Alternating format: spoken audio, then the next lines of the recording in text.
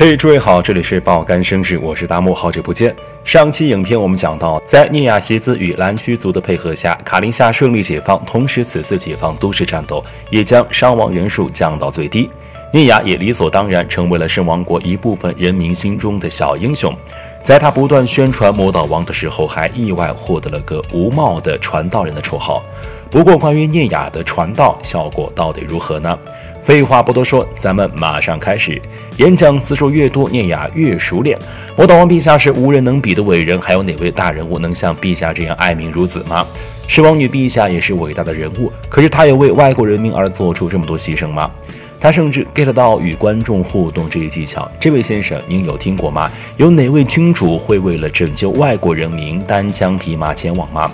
被点到的男人支支吾吾思考着，然后回答：没没有，我没有听说过。男人略显害羞，台上尼亚身边的两名同伴立刻热烈鼓掌，以表鼓励。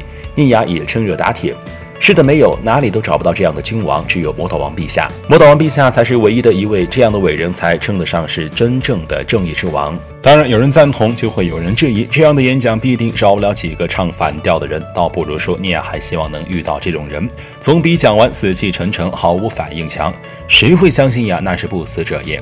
聂雅承认魔导王是不死者这一点，但他主张凡事都有意外，不死者憎恨活人是事实，但魔导王拯救过人民也是事实。聂雅还指出，在座的各位肯定有人被魔导王陛下拯救过，实际上确实如此。听众几乎没有反驳声音。开场调动氛围环节结束后，接下来要进入严肃话题。这次亚人大军突破防线，但是悲剧只会发生这一次吗？各位真的不认为会再发生同样的事吗？一片沉默就是最好的答案。孩子的孩子，孙子的孙子，谁能保证曾经发生过的事不会重新上演？所以我们要未雨绸缪。地下是一片，没错，说得好。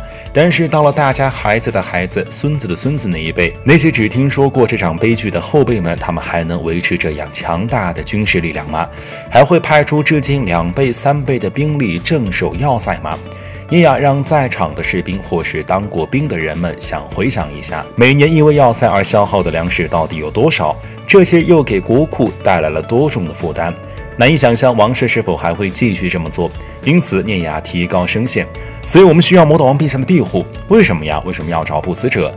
聂雅可太感谢这个唱反调的男人了，完全是帮他接话。正因为陛下是不死者，拥有强大的力量，能永生不死，想必能活到更远更远以后。可我听说魔导王战败丧命了，尼亚不能否认这一点，战败是事实，但这也是魔导王陛下为了拯救弱小的圣王国子民而用了过多魔力造成的。所以追究到底，怪也要怪自己等人能力不足。但关于丧命这一说法，尼亚表示陛下并未驾崩，席兹人兽支配就是最好的证明。听众中传来一些崇拜的声音，毕竟有很多人都见过席兹在卡林下斩杀亚人的模样。再加上席兹如人偶般精致却未脱离稚气的面容，导致很多平民都对席兹有好感。一旁的席兹听见妮亚 Q 到自己，于是挺胸抬头，现场气氛一阵哗然。妮亚举起双手，要大家稍安勿躁。他继续讲到：“魔导王陛下不在此处现身，肯定是有原因的。他渴求大家的力量，希望寻得帮助。毕竟魔导王的最初目的是为了打倒亚达巴沃。可即使如此，魔导王还是为了帮助圣王国做了一些本该不用做的事，从而消耗了过多的魔力，导致战败。”尼亚认为，就算赌命闯完亚人统治的丘陵地带，顺利找到了陛下，也不能说圣王国回报了陛下的恩情。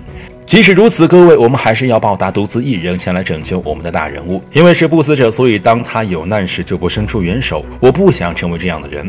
任何人只要稍微想报答魔导王陛下恩情，我想请求你们各位先扬后抑，再扬。尼亚故意停顿了一拍，延迟一点时间，才高声开口：“我在寻求医院与我一同帮助魔导王陛下的人士，不需要实际前往，技术也好，知识也好，什么都行，请助我一臂之力，恳请大家帮帮忙。”聂亚低头低头致意后，西子。也稍微低下头，听众稍显激动。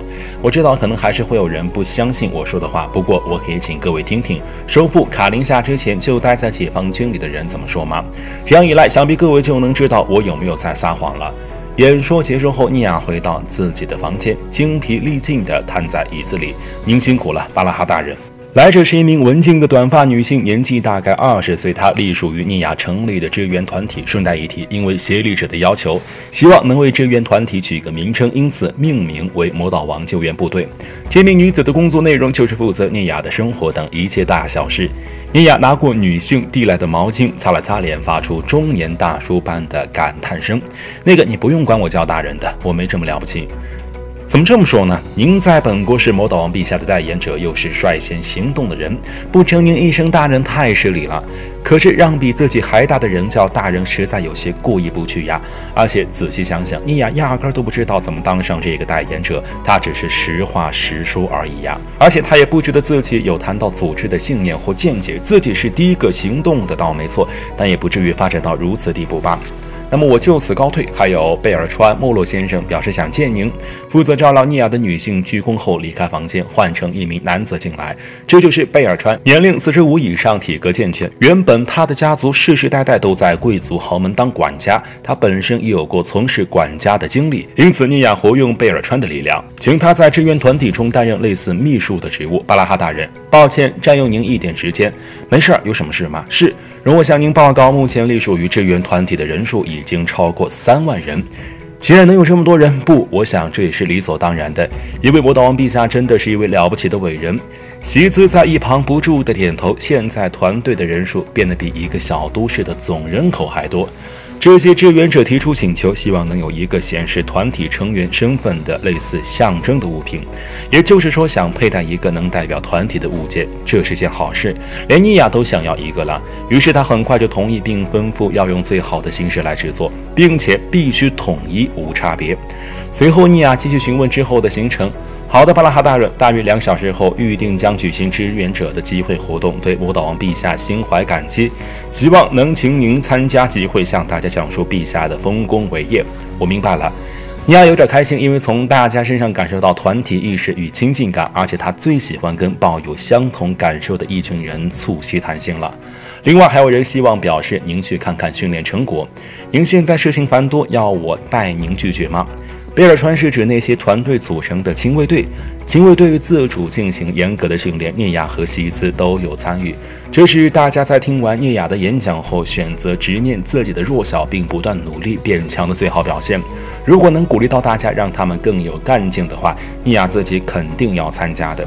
因此，他很快就答应会前往观望。简报就是这些。现在距离集会还有一个小时，贝尔川叮嘱聂亚一定要好好休息。随后低头鞠躬，安静离开房间。确认对方离开后，尼亚从椅子起身，走到躺在长椅上的席子跟前，然后自己也躺下来，像用身体压扁席子一样抱住他。乖哦，乖哦。个头比尼亚艾德西斯像母亲哄小孩般轻轻抚摸他的背。我们究竟要什么时候才能去找魔导王陛下呢？从事发当天到现在，至少也有一个月了耶。之前提到过的自愿财神王国东部搜索的人们表示，没能找到魔导王，背叛了亚达巴沃的三千只蓝区中，有两千八百只与王子一同前往魔导国，剩下大约两百只前往丘陵为尼亚收集情报，但结果也还没出来。只许成功，不许失败，这我知道。可可是。尼亚更用力的抱紧席子，紧紧贴着他。席子身上散发出红茶般的香气，尼亚将它吸进鼻子里。只有席子的存在能安抚尼亚的不安，因为只要席子人还在这儿，就能证明魔导王还活着。不要紧，安子大人为人宽宏大量。是呀，你说的对，席子前辈。所以要增加更多志愿者，拟定绝不会失败的搜索计划。是呀，你说的对，西子前辈，这样做安子大人会很高兴。是呀，你说的对，西子前辈，你呀，我蛮喜欢你的，看习惯了就会觉得你的长相蛮有味道的。味道是什么了？对了，喜子前辈不能外出，也一定觉得很无聊吧？下次我们两个人一起出去玩如何？毕竟喜子那仿佛精雕细琢的美貌，以及女仆恶魔的身份，到哪儿都会成为焦点。还有人会害怕喜子会夺走他的灵魂，所以喜子一直都在聂雅身边。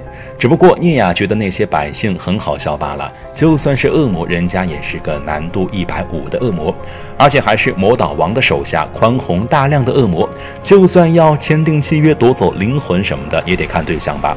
不过现在属于尼亚团队的人越来越多了，只要是在支援者聚集的地区，想必不会有问题。不错，我去当做练习，那就先做准备吧。这件女仆装有点显眼，可以换上普通的服装吗？没问题，我想跟你借，穿搭随便你。抱歉，从来没有人陪我一起出门，我对服装也没感兴趣，所以对穿搭一点自信也没有。席兹温柔地拍拍妮亚肩，乍看面无表情，但妮亚能从席兹脸上看出温柔。席兹竖起大拇指指向自己，包在我身上。后来，妮亚发现席兹的品味其实意外的不差。收复卡林夏后，卡斯邦登的工作顿时变多了，因为有获救的一群新血加入，他必须着手设计更细微的组织结构。再加上情报量暴增，若是考虑到确认或分配的问题，会非常花时间。如此忙碌的卡斯邦登身边只有一名圣骑士担任护卫。他懂得读写与算术，还能帮卡斯邦登主持祭祀仪式。其实本该是由雷梅蒂欧斯来担任这一职位的，但考虑到他的精神状态，卡斯邦登还是让他与多名圣骑士进行训练。当尼亚席兹带回拉凯尔朵的头颅时，雷梅蒂欧斯发狂错乱地引发了严重骚动，闹到以为要出人命了。即使现在已经镇静下来，大家仍说是提心吊胆跟他相处。老实说，光凭自己一个人头脑是忙不过来的，必须。需感谢提供智慧的大人才行。卡斯邦登一面怀抱更深的敬意，一面动笔处理工作。这时，身边的圣骑士忍不住开口：“卡斯邦登王兄殿下，尼亚巴拉哈那件事，继续放任不管，真的好吗？”卡斯邦登明白话中之意，他眼睛没离开文件，有些疲惫地笑了笑：“没办法呀，就放着吧。还有，叫我殿下就行。”看着圣骑士露出不解的样子，卡斯邦登终于放下文件。当我们施加压力阻止他的行动时，你认为事情会如何发展？我认为不会怎么发展，殿下。他的所作所为会对国内造成分裂。原来如此，你有看过他的讲道吗？圣骑士略显疑惑，看来没有。那你应该是看过他的讲道内容同整成的文件了吧？那么我先问你，里面有谎话吗？看着圣骑士努力回想的样子，卡斯邦登继续解释：“尼亚说的话确实都是真实的。魔导王确实让那些俘虏重获自由，是单枪匹马夺回都市的英雄。不止如此，尼亚这个人也确实是解放卡林夏的重要功臣。比起让百姓赞美魔导王的手下恶魔女仆，他们选择了宣传尼亚，只不过有点过度赞美罢了。但尼亚那一身装备确实只能形容成英雄呀。”回到刚刚的问题，如果圣王国在这种时刻施加压力打压尼亚的话，那人民又会怎么看待王室呢？而且现在女仆恶魔可是在保护聂亚哟。这个女仆差不多就是圣王国内最强战力了。